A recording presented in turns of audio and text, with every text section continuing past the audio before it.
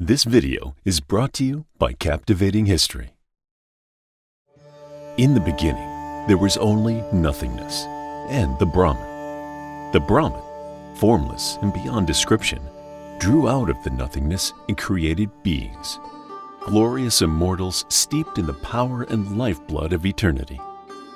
From its conceptual self, the Brahman created all things, starting with Lord Brahma and Lord Vishnu.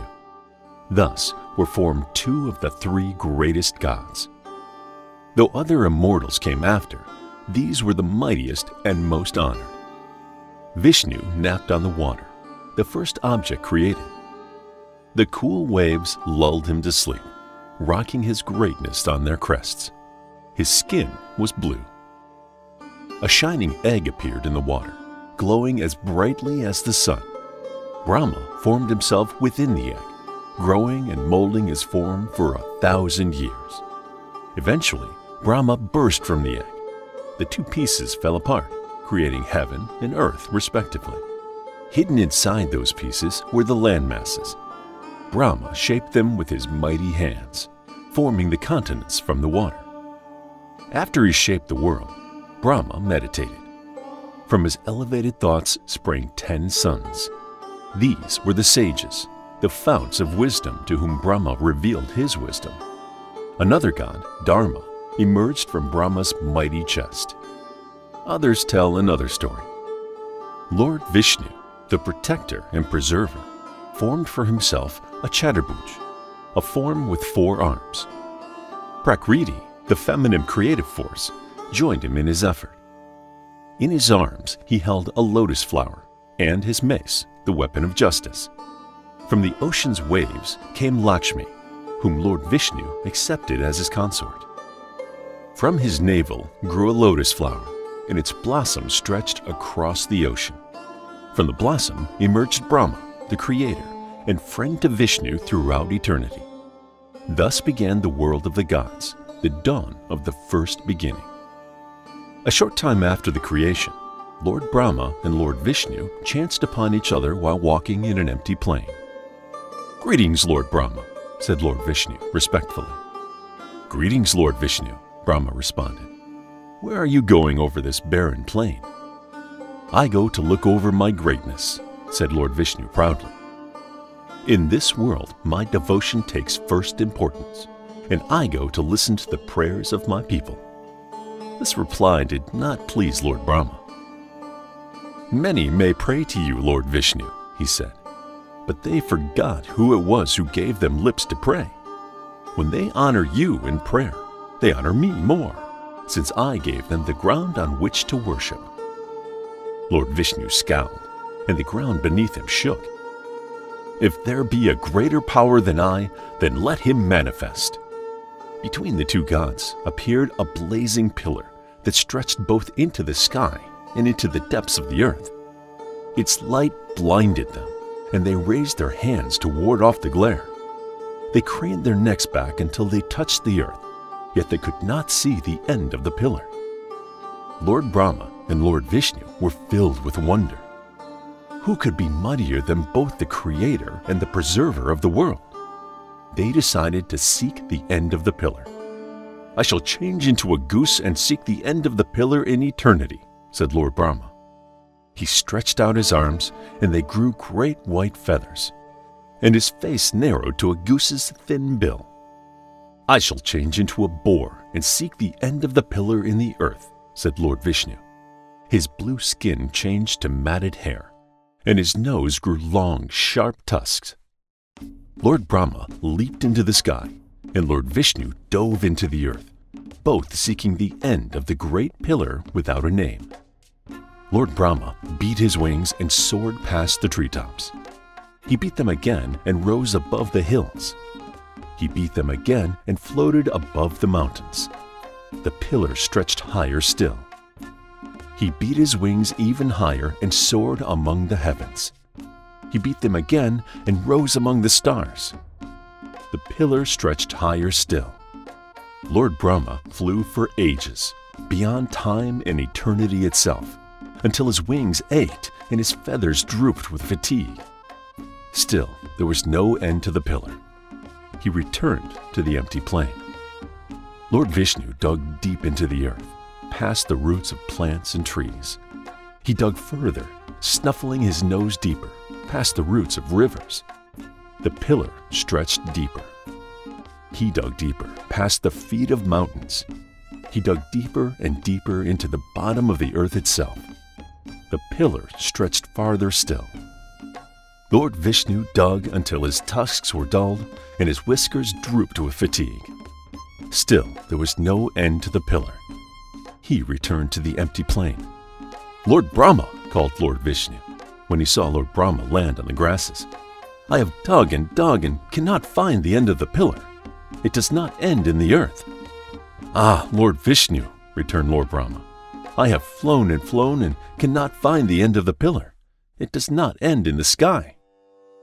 The pillar shook, and the earth trembled. It shook again, and the sky shuddered. It shook a third time, and a shining figure stepped from its depths.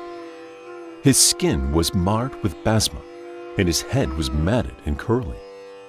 A third eye, called Triambakam, burned in his forehead. A snake hissed at his throat. He lowered his trident, the Trishul. Lord Brahma and Lord Vishnu bowed in acknowledgement. Here, truly, was a power as great, if not greater, than their own. Thus was born Lord Shiva, the Destroyer, Lord of Demons. He made his home in Varanasi and married Parvati, from whom he was rarely separated.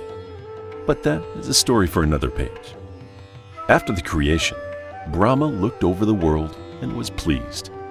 He saw the water and the land, the mountains and hills. He saw the sun, Aditya, whose rays blessed the earth. He saw the sages sprung from his thought. But none of these beings, as yet, had been born to a mother and father. So, Lord Brahma drew from his own body a form, half male and half female. The male was called Swayambhu Manu, and the female Shatarupa. We know her better by another name, Saraswati. Saraswati's dark hair stretched to her waist, and her face was pure and open. In her hands, she held a vina by which to bless the universe with music and wisdom. Hansa, the swan, bore her on his back. When he saw the beauty of Saraswati, Lord Brahma's soul moved within him. He longed for her as his wife, but Saraswati, drawn from his own body, was like his daughter. One day, she approached Lord Brahma to pay her respects. He gazed at her with intense desire. When she circled behind him, he could see her no longer. So great was his longing that a second head sprouted from behind his first one, the better to gaze on Saraswati and her beauty. Saraswati passed to Lord Brahma's left, and a third head appeared to gaze at her still. When she passed to his right, yet another, a fourth head, sprouted from his shoulders so she could not escape his sight. The attention troubled Saraswati. To gain a moment's peace from Brahma's desire, she jumped over his head. A fifth head sprouted from Brahma's shoulders so that Saraswati could find no rest from his interest.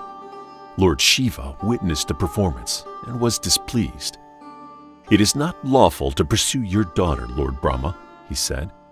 Four of Brahma's heads praised Shiva in agreement. The fifth head hissed and reviled Shiva for his interference. Lord Shiva drew his sword. A head that speaks in such a way shall not speak at all. And so Lord Brahma lost his fifth head that spoke evilly to Lord Shiva. Eventually, Brahma and Saraswati married and have lived together since. Shatarupa married Swayambhu Manu and produced the first children. Thus began the cycle of fathers and mothers from the first man and woman. Shiva tests Parvati in the Himalayas, there lived a great king. He and his wife, Meena Devi, served Lord Shiva and offered him many respects. But they were unfulfilled. They wished for one thing and one thing only for a daughter to grow and become the wife of Shiva. Oh, that our family could be worthy of this honor, cried Himavantha, the king. I'm a ruler, yet I am poor as the poorest peasant without this gift. Then let us perform a tapasya, answered Meena Devi. It will please Gauradevi, the wife of Shiva. Perhaps she will be reborn as our daughter. King Himavantha agreed. Meena Devi began her tapasya. The sun rose and fell, and still she meditated.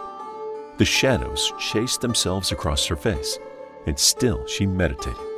No food crossed her lips, and no water wet her tongue.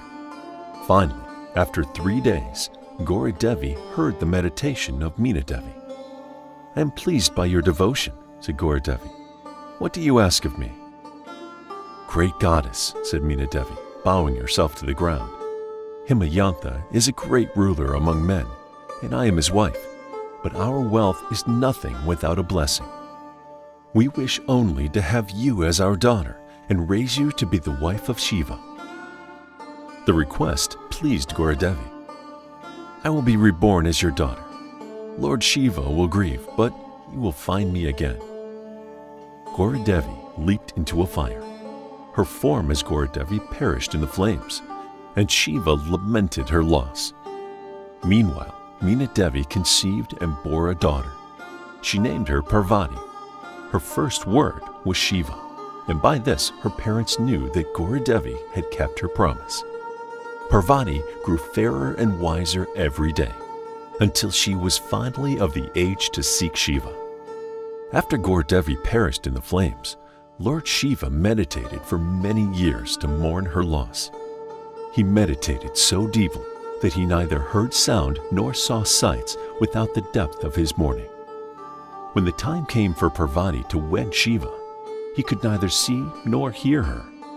The king consulted with Narada, a wise sage.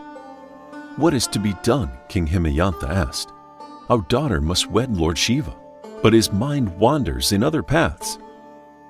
Lord Shiva is deep in meditation, answered Narada. But the prayers of worship may still reach his ears. Send Parvati to pray at his shrine, and perhaps he will hear her voice if her devotion is pure. Himavantha was pleased with this counsel and sent Parvati to the shrine of Lord Shiva. When Parvati's eyes fell on Lord Shiva deep in his meditation, her heart danced within her, and she determined to offer reverence to none but him. She performed tapasya in his honor and offered him worship by every means within her power. Her devotions did not cease with the night, but continued through till the dawn. She prayed until her voice croaked and her eyes drooped with fatigue. Deep in his meditation, Lord Shiva heard her prayers. This truly is a pure woman, he thought, who prays and offers worship to me without ceasing. Perhaps I shall take her as my wife. But first, Lord Shiva sought to test Parvati, for perhaps she loved something better than he. He dressed in robes of gold silk and wore the face of a rich Brahmin. Coming to the shrine where Parvati continued to pray, he feigned oblation to Shiva before turning to her. Would you waste your devotions at a shrine of no consequence? Parvati's eyes flashed, but she did not stop her worship. Lord Shiva hid his smile and tried again. Would you wish to live without wealth, with only the ashes as your comfort? Parvati turned her back to him and continued to pray, but her hands shook with anger. Lord Shiva was pleased, but tested her a third time. It would be a pity for a beautiful rich girl to marry a poor beggar, though he be a god. Parvati spun around. I will marry none but Shiva. I am he. Lord Shiva cast away his disguise, revealing his true nature. Parvati clapped her hands for joy and fell at his feet. Lord Shiva raised her gently. You have proven your devotion. I will take you as my bride. Himavantha and Meena Devi were overjoyed by Parvati's marriage and blessed the goddess for keeping her promise to them. And so, Lord Shiva and his consort Parvati were married.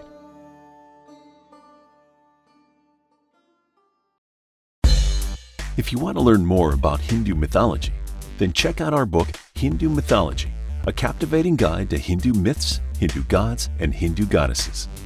Also, if you haven't already gotten your free mythology ebook bundle, grab it while it's still free. All links are in the description. Please hit the like button if you enjoyed the video and subscribe if you want us to create more videos like this.